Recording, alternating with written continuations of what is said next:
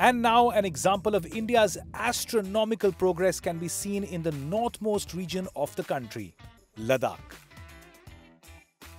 Indian Astronomical Observatory of Hanle. Hanle Observatory gets an average of 270 clear night skies and less than 7 centimeter of rain per year.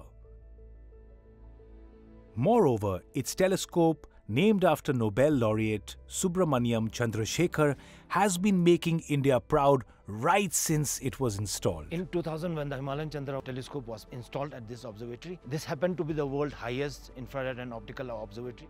Himalayan Chandra telescope actually consists of an 2 meter dia primary mirror which is the heart of the telescope and it is mounted on an alt azimuth mount. The telescope can move uh, 360 degree in azimuth and 0 to 90 degree and hence it can cover the whole sky.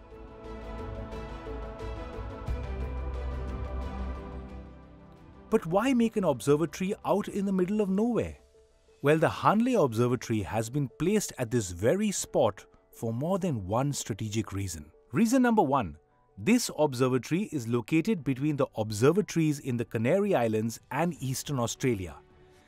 It has been positioned in such a way that it can observe certain phenomena missed completely by the other two observatories.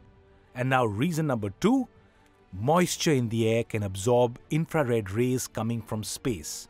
But the dry climate of Hanle helped this observatory become one of the best observatories for infrared observations.